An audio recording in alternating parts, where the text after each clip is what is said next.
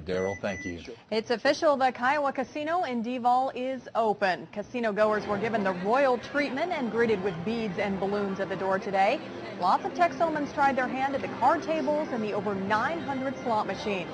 Many waited outside for several hours before the doors opened, but not everyone is ready to cut ties with the Comanche Red River Casino just up the road. I mean, if it's better than what Comanche is, then yeah, come here and see what this one's about. Managers at the Comanche Red River Casino say they are happy to see the Kiowa Casino open and they think the new casino will be able to bring more people to the area.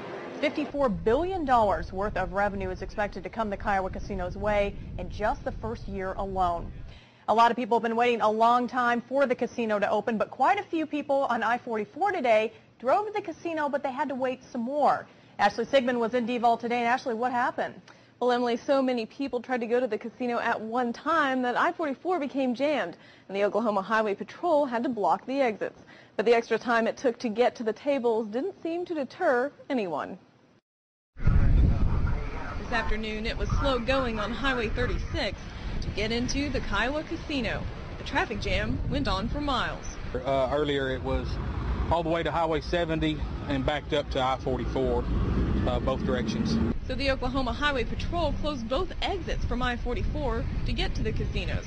And for a while, the Cotton County Sheriff's Department and officers from the Bureau of Indian Affairs made sure no one was coming in or leaving. I've never seen anything like it.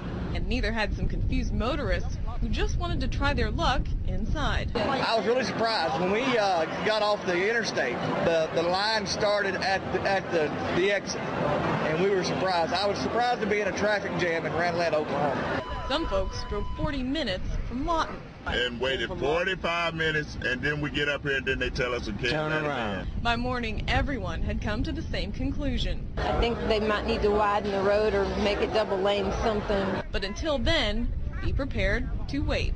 It's going to get better for a little bit, then, then later this evening it'll probably get bad again. Now, managers at the Comanche Red River Casino say both the Kiowa and Comanche tribes are talking with the Oklahoma Department of Transportation about widening Highway 36, but no word on when or if that will happen. But it sounds like it might be a good idea. Ashley, thank you.